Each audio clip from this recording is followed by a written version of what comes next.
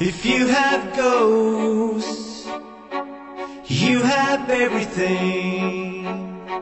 If you have ghosts, you have everything. You can say